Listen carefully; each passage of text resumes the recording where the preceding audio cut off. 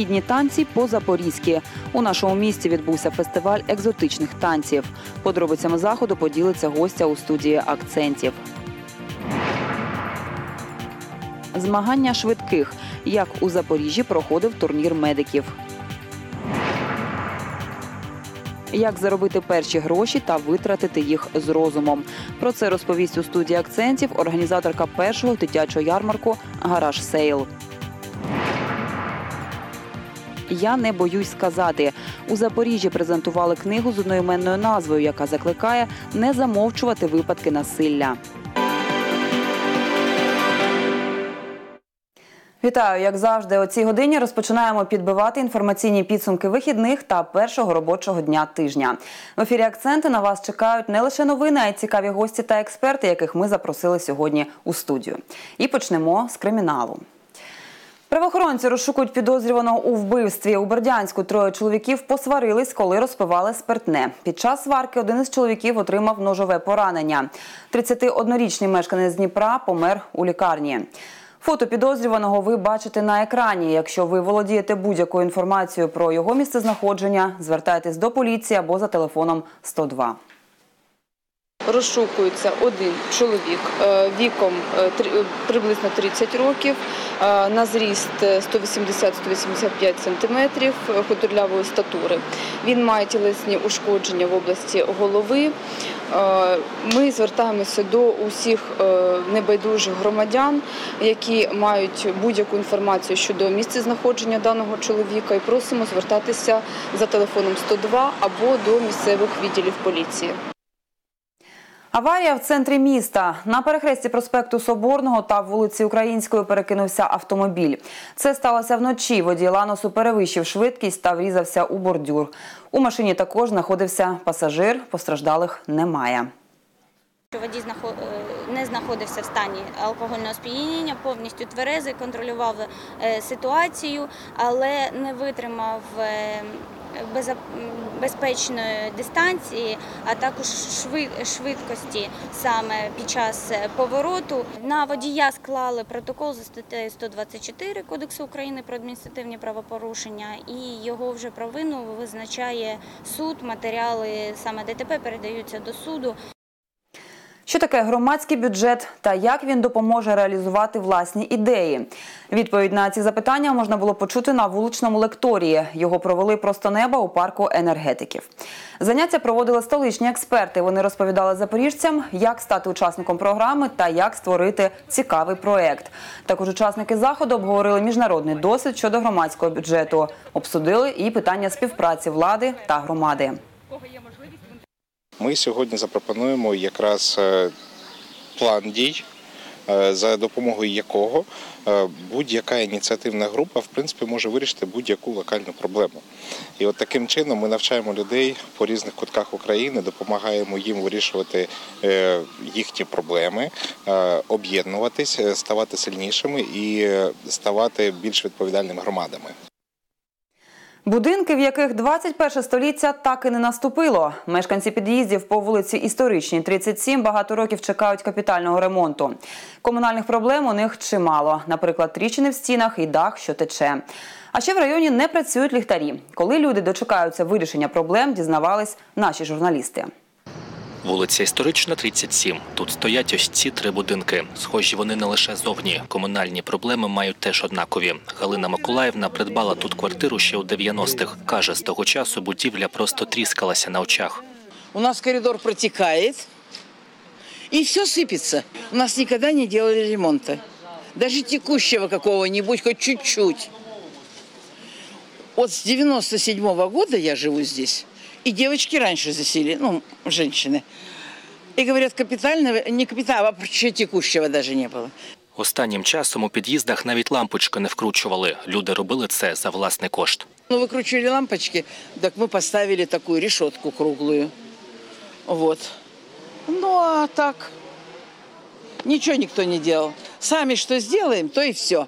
Сьогодні біля одного з будинків збори із людьми спілкуються керівники району і КП «Наше місто». Кажуть, в першу чергу тут відремонтують усі ліхтарі в під'їздах і дворах. В одному з будинків уже встановили ось такі економічні світильники. Далі більше. Также в двух из трех домов были запланированы выполнение капитального ремонта, где инженерных сетей, где кровли. На 2017 год проектирование, в 2018 году планируем выполнить эти работы. Але зробити ремонт це лише пів справи, впевнений мер Володимир Буряк. Головне, на його думку, щоб люди берегли те, що в них є.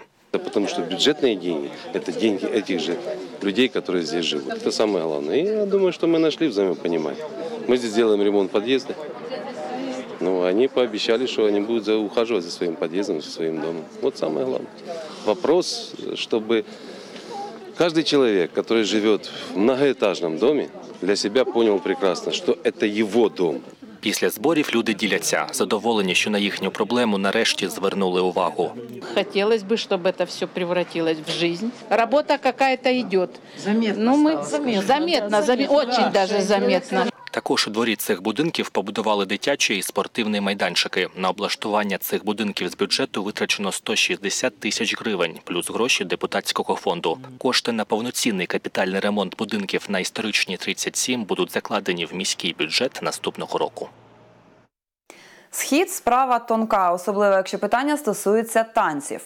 У місті відбувся всеукраїнський фестиваль східних танців. Змагалися більше пів тисячі учасниць шести областей України. Виборювали корону кращої.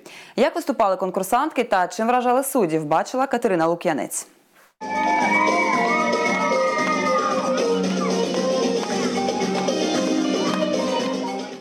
Танцівниці зі сцени вражають гости фестивалю майстерністю східного танцю. Різкі махи стегнами у поєднанні з пластичними рухами тіла. Ось особливість цього танцювального стилю. Это как мое хобби. Я обожаю. Я чувствую себя свободной. Для меня это как второе лучшее дело. Окрім маленьких учасниць, виступають зі своїми номерами і дорослі учасниці. На фестивалі понад шість вікових категорій. В кожній обиратимуть кращу. Конкурс об'єднав як початківців, так і професійних танцівниць. Дівчата підтримували одна одну та ділилися досвідом. В этом году я участвовала в профессионалах и заняла корону. Это очень женственные танцы, очень красивые. В них можно открыть свою как бы душу, свой внутренний мир. Ну и как бы с первого занятия я точно знала, это мое, оно мне нравится, все. Оцінює танцювальні здібності конкурсанток журі. Серед них і представники міжнародної спілки викладачів танцю розповідають, для дівчат такі конкурси крок до побудови власної кар'єри. Наша организация а, в конце года придумала систему поощрения а, лидеров рейтинга, который ведется организацией по факту участия всех танцовщиц в своих номинациях и, собственно, а, побед, призовых мест. Лучшие танцоры командируются организацией за границу на международные а, проекты. Чим більше нагород, тим більше шансів у кожної учасниці потрапити на чемпіонат Європи та інші зарубіжні конкурси. Після дівчата можуть відкривати свої школи танцю та навчати східному танцю інших. І в нашій студії вже з'явилась чарівна гостя. Я рада вітати Ганну Шостак, директорку талант студії. Вітаю вас, пані Доброго Ганно. дня. Е, Розкажіть детальніше про той фестиваль, от, чи- який ми бачили сюжет щойно. А, Вчера буквально закрылся фестиваль Ориентал Queen Фрида, который проходит уже второй год в Запорожье. То есть эм, это четырехдневный фестиваль, который длился с обучающей сессией мастер-классов от ведущих педагогов.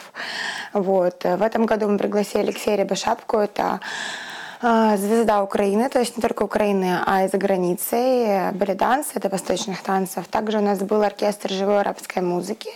Вот. И фест проходил на берегу Днепра. То есть именно задумка была в том, чтобы участники прохо- проходили не обычный конкурс как там в Дворце культуры или где-то, то есть где они находятся в напряжении. А хотелось показать им, что сейчас уже лето, закончились школы, и закрытием танцевального сезона вот был именно наш конкурс. А, Вот. В четырехдневный фест у нас входила вечеринка, обучающий мастер-класс. Вечеринка была в казацком стиле, то есть у нас были казаки на берегу Дівчата Днепра. танцюють східні танці у козацькому стилі. Да, да, это было. Это была вечеринка. Они все были в вышиванках, венках. Выбирали лучшую танцовщицу. Они играли, эм, участвовали в батле на берегу Днепра с казацким представлением. То есть это было очень интересно, такой фьюжн, который мы устроили для того, чтобы э, дети сдружились, потому что были дети с разных регионов Украины, вообще с разных городов. То есть и вот этим вот задачам два дня, пока была сессия обучающая и был батл, они сдружились, общались, то есть это была такая неформальная обстановка. Вот. И суббота и воскресенье, то есть было два дня конкурсной программы, достаточно большой, достаточно интересной и яркой. То есть вот. Е, Лише діти брали участь у цьому фестивалі. Нет, не дети, э, не только дети, то есть э, участники от 5 лет, то есть самая маленькая категория это baby, это 4-5 лет. И последняя категория, которая даже не последняя, так нельзя, наверное, сказать, а Наидоросліша, сам- да, самая так. старшая категория это сеньоры. Сеньоры это ну, 45-50 лет. Вот, и оно делится у нас по лигам. Есть начинающие, продолжающие, высшая лига и профессионалы. То есть в каждой из категорий выбиралась королева по импровизации, под живой звук. То есть это была суббота, вечер. А, Вот, у нас строится специальная сцена с аппаратурой, с оркестром, и девочки борются за корону.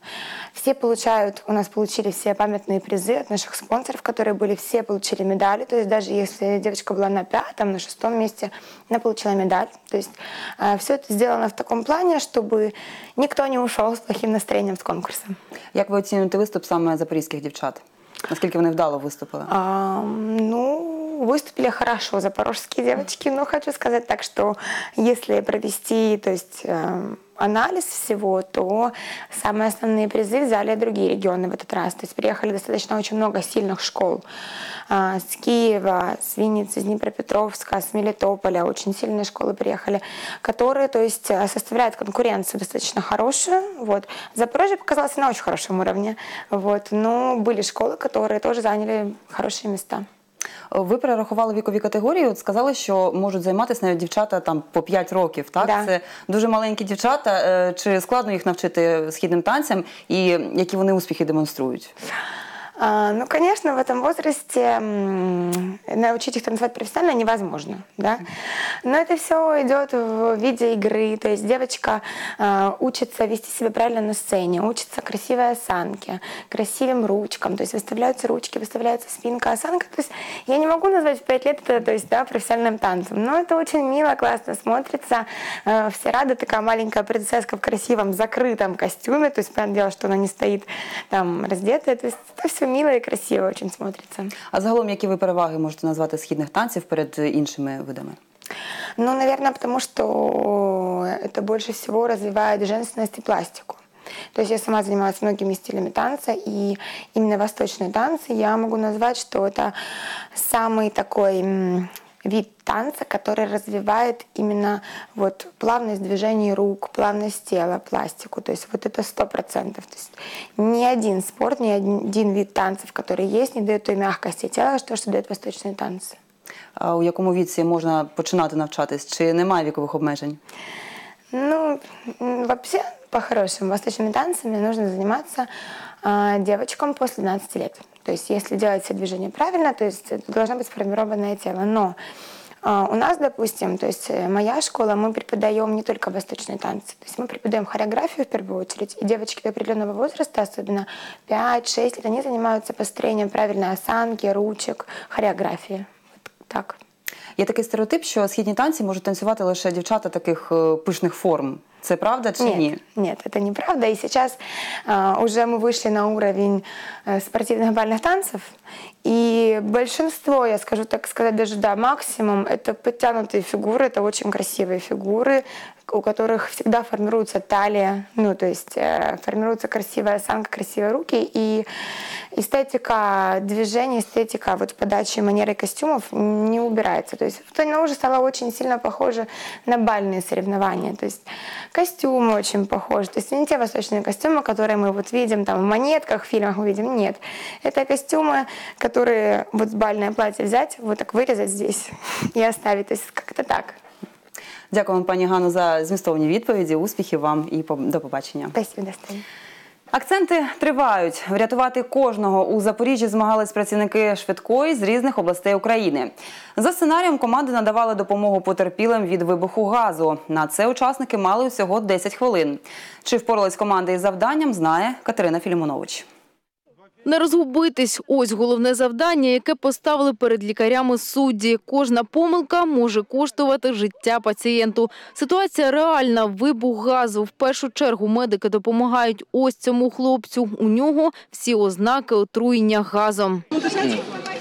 Так, давай голку сразу. Пока донесем, он перестанет дышать. Пацієнта кладуть на ноші та несуть до швидкої. Постраждалі починають панікувати. Це ускладнює роботу медиків. До того ж на місці і досі чутно вибухи.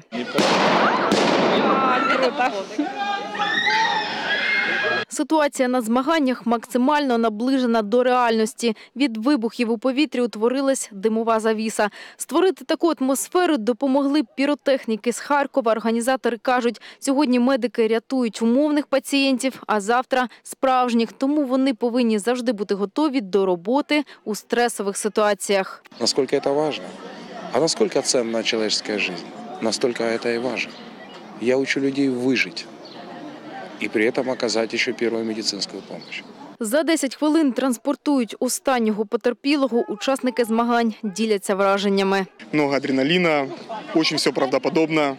И статисты играли хорошо, и, в принципе, наши три команды, которые в этом этапе были, тоже хорошо отработали, я считаю. пережила эти какие-то ситуации внутри, а, получила опыт и опыт как для себя и а, посмотрела на а, самих, как э, работает у нас экстренная помощь. Таке ж змагання чекало і на інші команди. Всього у конкурсі взяли участь 12 команд. Організатори говорять, до стресових умов лікарі були готові. Ще до початку змагань відпрацювали навички з зупинки кровотечі, серцево-легеневої реанімації та навіть ультразвукової діагностики. Та головне для лікарів – це злагоджена робота в команді.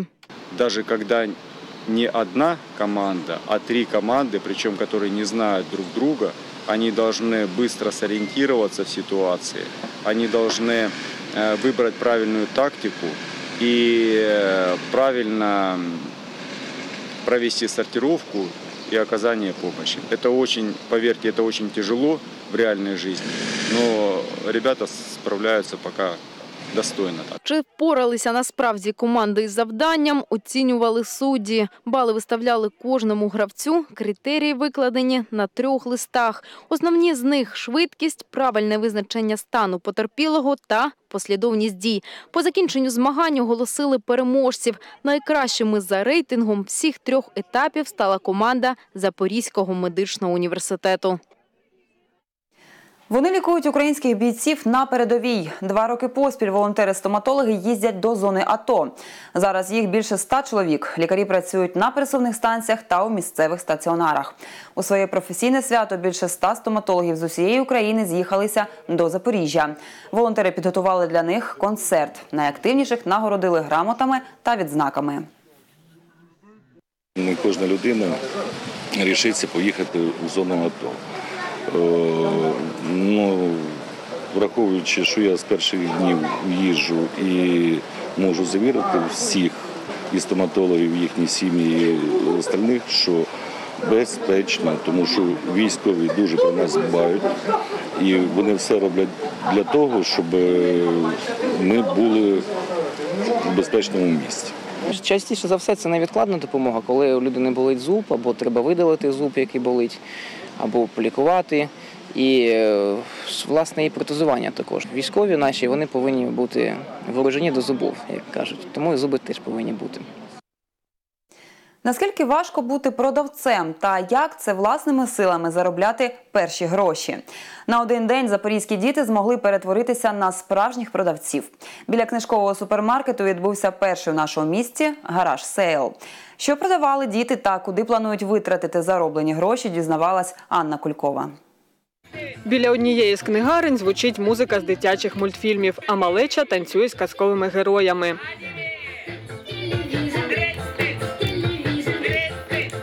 Після діти перевтілюються у продавців, займають свої місця за прилавками. Хлопчики та дівчатка продають свої книжки, розмальовки, іграшки та сувеніри. За свій товар вони отримують справжні гроші. Спробувати власні сили у професії продавчині вирішила і семирічна Каріна Потомака. Дівчинка каже, продає свої іграшки, книжки та наліпки. На гроші від продажу мріє купити фарбу для малювання на тканині. Мне хотелось э, по- ну, попробовать себя в роли продавца, потому что ну, я думала, это интересно, и это так оказалось.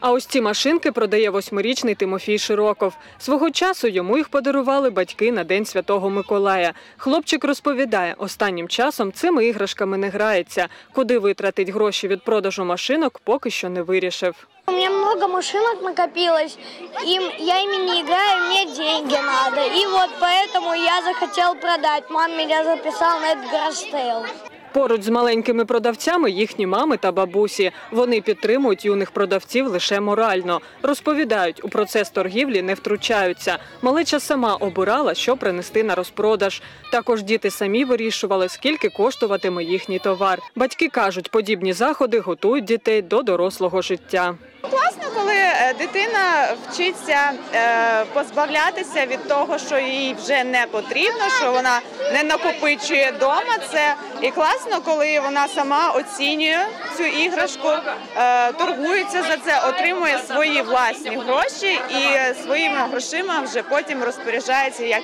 їй буде ну, завгодно. У Запоріжжі це перший гараж сейл. Влаштували його працівники книжкового супермаркету. Кажуть, позиціонували його як книжковий ярмарок. Були вражені дитячою фантазією, адже окрім книжок, діти принесли на продаж власні іграшки, свої малюнки і поробки. У гараж сейлі взяли участь 20 юних продавців. Ярмарок тривав декілька годин. Організатори кажуть, наступний гараж сейл відбудеться вже у липні.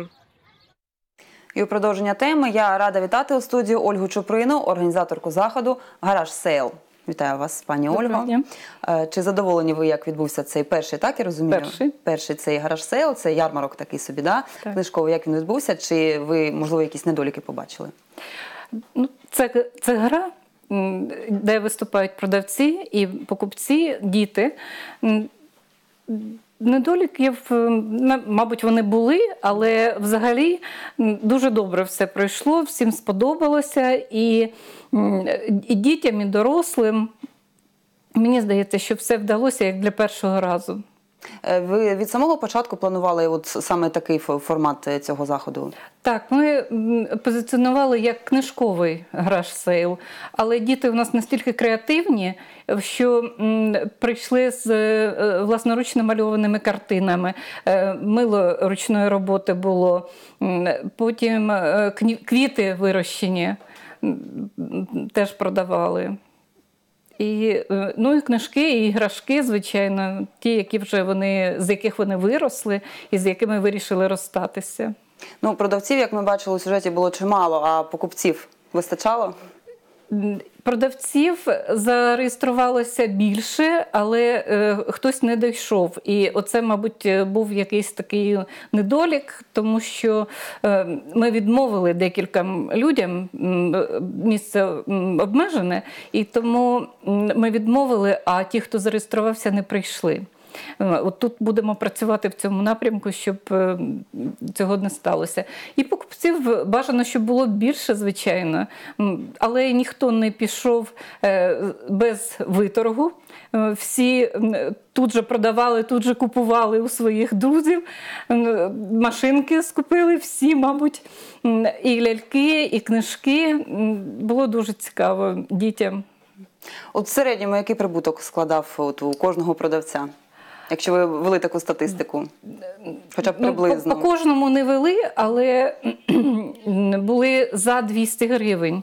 Дві- чимало для таких 265 початківців. гривень наторгував хлопчик, здається, Тим- Тимур чи, чи Тимофій, не пам'ятаю точно ім'я. Е, Він наторгував 265 гривень. Батьки допомагали, чи він самостійно так зміг Він, торгувати? він самостійно, в нього була ціль наторгувати 200, він наторгував 265 і з е, почуттям виконаного обов'язку пішов додому. Щось е, придбав на напевно якусь книжку у супермаркеті? Ні, він е, У нього була ціль- мета, так? цільова мета в нього була щось купити, і йому не, не вистачало 200 гривень, але він наторгував більше. Ви, як організаторка цього заходу, звідки ви брали натхнення? Звідки ви брали ідею цього ярмарку, цього фестивалю? Ми стараємося наповнювати наш простір книжкового магазину е, творчістю, і це не е, єдиний е, проєкт, який ми втілюємо в життя. У нас оранжевий скворечник кожного місяця проводиться. Це такий дитячий для батьків і дітей фестиваль книжковий. І не тільки, і там і музика, в нас і майстер-класи. Я, до речі, була на одному з таких заходів. Дуже цікаво, так я підтверджую. І ми кожного разу шукаємо якісь нові форми для втілення, щоб цей простір наш наповнювався творчістю, наповнювався е, е, бажанням дітей читати.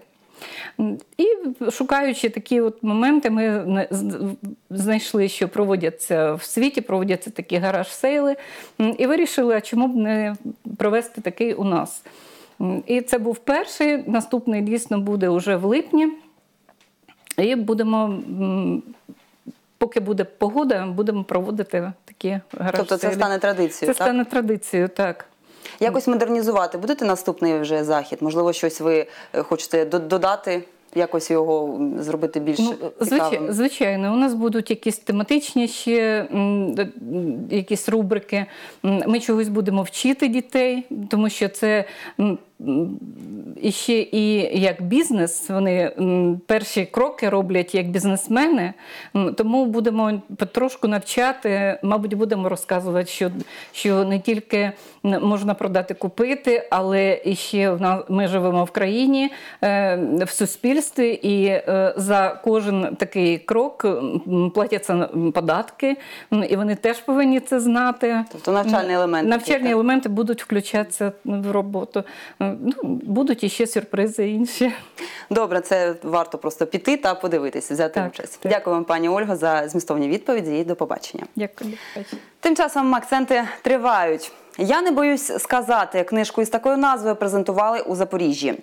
В її основу покладені історії людей, які пережили насилля та розповіли про це у соцмережах. Такий флешмоб проходив в Україні рік тому. На сторінках видання поради про те, як не стати жертвою насилля та як боротися із кривдниками. Сповіді про те, про що зазвичай мовчать, слухала Катерина Ганджа. Це почалось минулого літа. Громадська активістка Анастасія Мельниченко започаткувала флешмоб проти замовчування насилля. На своїй сторінці у Фейсбуці опублікувала сповіді постраждалих осіб. Потім закликала друзів розповісти свої історії. Тисячі людей відгукнулися на цей заклик. Зараз Анастасія презентує книгу, написану на основі цих історій. Вони нікому не говорили, не говорили про це, вони лишалися наодинці своєю травмою, саме тому, що тема табуйована і е, ну. І на тему дуже багато наліплено там сорому, якоїсь звинувачення жертви. І діти часто вони або бояться реакції батьків, вони бояться, що вони виявляться для батьків недостатньо хорошими, їх мама не буде читати, любити.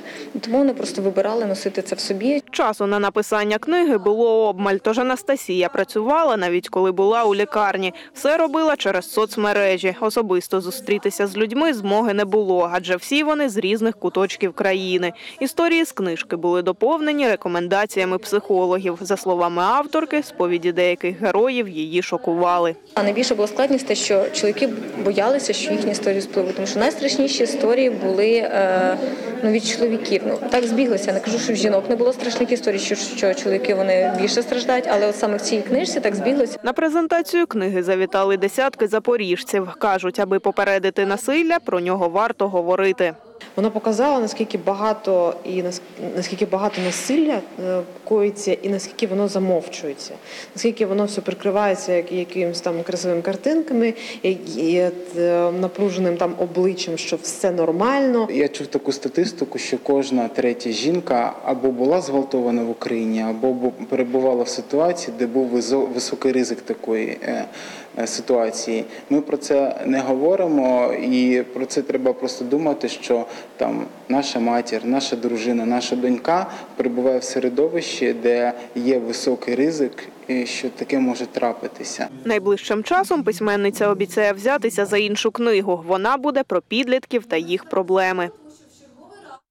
І це була остання інформація у випуску. Я дякую глядачам за увагу і залишаю компанії Євгена Нартова, який підіб'є підсумки спортивного дня. Хай щастить!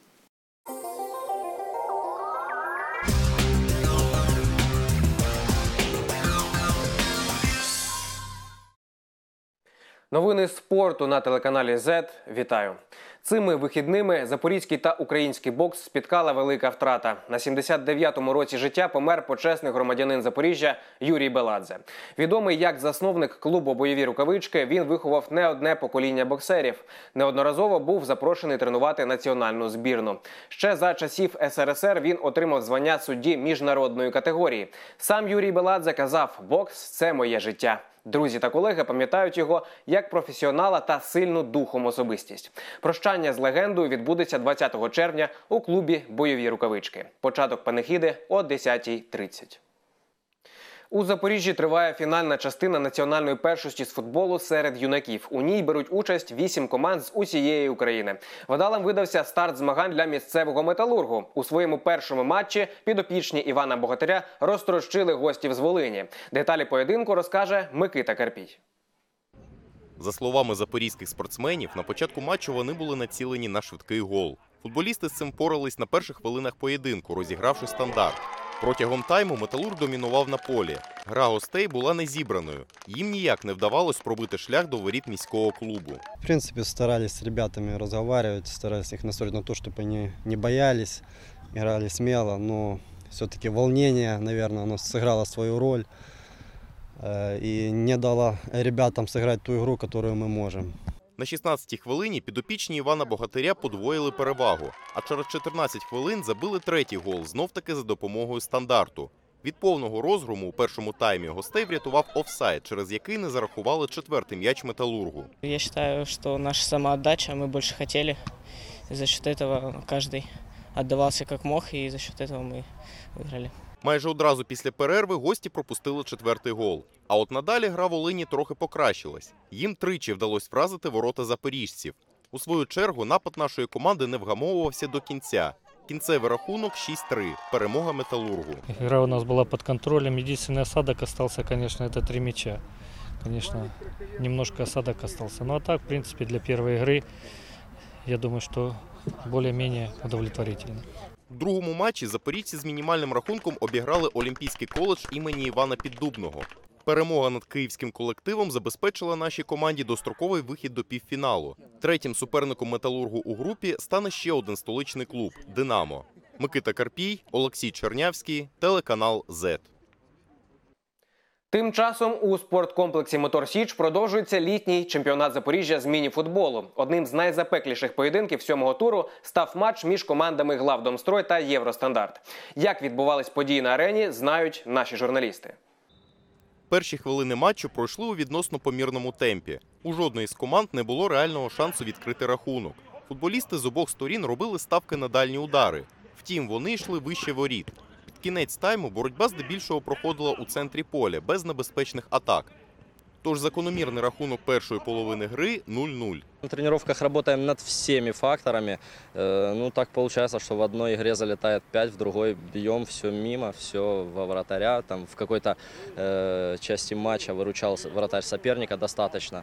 Э, Поэтому, то есть, я думаю, это фактор везения, но работать будем над всеми факторами. То есть мы и работаем, продолжаем. На початку другого тайму команди обмінялись двома небезпечними атаками. Втім, без результату. В цілому, у порівнянні з першою частиною гри, удари футболістів стали більш точними. Голкіперам довелось непросто, однак вони грали надійно. Лише на 36-й хвилині глядачі побачили перший гол, який став вирішальним. Відзначився Сергій В'юнов. Надо было брать очки, а во-вторых, э, как бы команде давал задание, что только победа, потому что у нас э, очень такой был недавно знаменательное событие, у нашего президента э, была, была свадьба, поэтому хотелось очень, чтобы команда ему сделала подарок, поэтому я думаю, что все получилось. Таким чином, 1-0 перемога головному строю. Це дає підопічним Віталія Конотопа шанс поборотися за призові місця у чемпіонаті. Окрім трьох турів, які залишилось зіграти, у них ще дві гри в запасі. Щодо євростандарту, поразка дещо знизила шанси колективу на здобуття бронзи. Однак президент команди зазначив, боротися будуть до останнього. Микита Карпій, Олексій Чернявський, телеканал ЗЕТ. У Португалії відбувся чемпіонат Європи з гандболу серед ветеранів. У складі збірної України 50+, був один представник Запоріжжя. Це старший викладач кафедри фізкультури і спорту ЗНУ Дмитро Сердюк. У груповому етапі наша команда одержала 5 перемог. З господарями першості Україна зустрілась у півфіналі. Перемогли португальську збірну 17-11. А от поєдинок за золото українські гандболісти провели проти Угорщини. Результат 14-11 на нашу користь. Це було останнє повідомлення випуску. Ми продовжуємо слідкувати за спортивними подіями в регіоні. Нехай щастить.